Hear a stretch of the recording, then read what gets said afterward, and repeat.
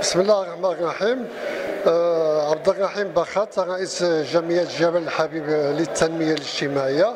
اليوم انعقد جمع تأسيسي عام آه، لتأسيس هذه الجمعية. اللي الأهداف ديالها أهداف اجتماعية وثقافية ورياضية وبيئية.